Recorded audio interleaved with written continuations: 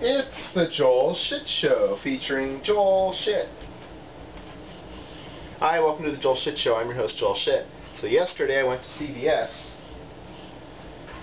I had to save four dollars on 20 coupon, and so I looked at my Longs slash CVS ad, and I looked, and I said, all right.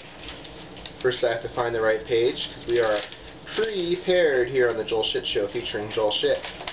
I went to this page and I said, alright, spend $15 and get 5 extra bucks. Okay, so here's a bunch of products and this over here says 2 for $5, so that must mean, oh, they're all 2 for $5. I looked and I said, wow, 250 that's really cheap for some of these things. Alright, I can dig it.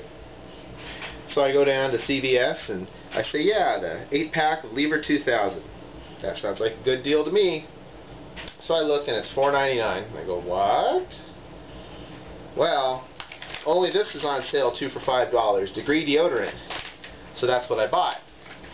All these other things are regular price still. Yes, if I spend fifteen dollars in any of them, I get five extra bucks. But only this is on sale. And don't you think that's a little deceptive? Not even saying that the other ones are regular price. Not happy about that. But I got my four dollars off. I also bought some Progresso soup. Lentil my ass off. That's not where they are. Yes, see?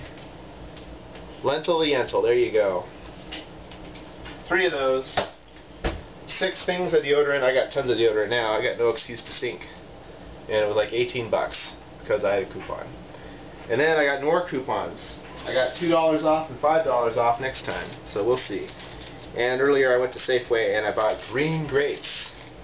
Yeah, pretty slow news day, I guess. Uh, my official training date at Yahoo, Friday, September 11.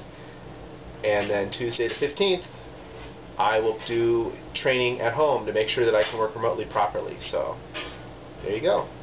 Oh, that's all the time we have today. Visit us on the web at joelshitshow.com. Email joel at joelshitshow.com.